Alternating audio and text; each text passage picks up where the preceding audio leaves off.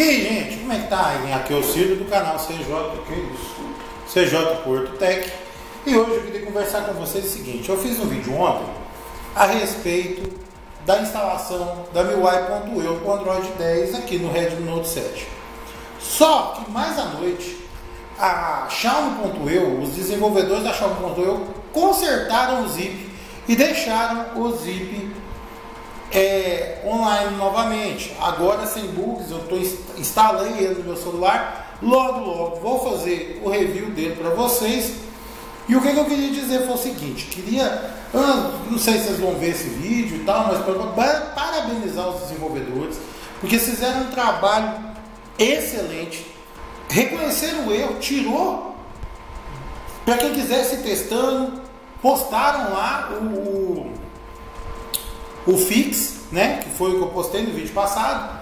Só que teve umas pequenas mudanças na RUM é, da, do zip antigo para esse zip atual. Que praticamente, cara, apesar de algumas pequenas mudanças ali, praticamente ficou a mesma MIUI.eu de antes. Só mudou a versão do Android, certo? Então, é, Tá bem mais fluida, cara, não tem condição, cara. Tá excelente, tá? Eu achei a versão chinesa mais bonita, mais bem trabalhada. O cachorro tá espirrando. Mais bem trabalhada, sabe? Mas o que que eu tenho a dizer?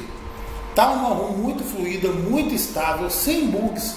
E eu instalei ela no meu smartphone aqui agora, estou fazendo as configurações, logo logo trago um review para vocês, para a gente ver se realmente teve umas pequenas mudanças ali na área do desenvolvedor, que eu acho que compensa dar uma olhada, mas eu vou estudar direitinho ainda, algumas coisas eu não vi mudança, assim, mesmo alterando as configurações, eu não vi mudança, mas teve coisas lá que eu achei interessante, inclusive um um recurso que a gente usa lá na, na Pixel Experience, eu já fiz até vídeo aqui a respeito. Tá.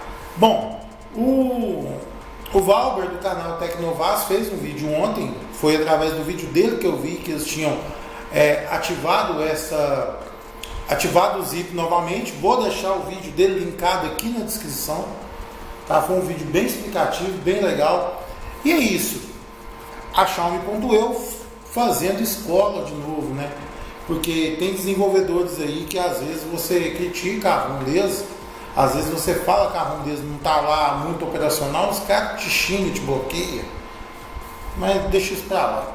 Então é isso que eu tinha para dizer, que a chave.eu está funcionando. Agora está funcional, vou deixar o link na descrição do site.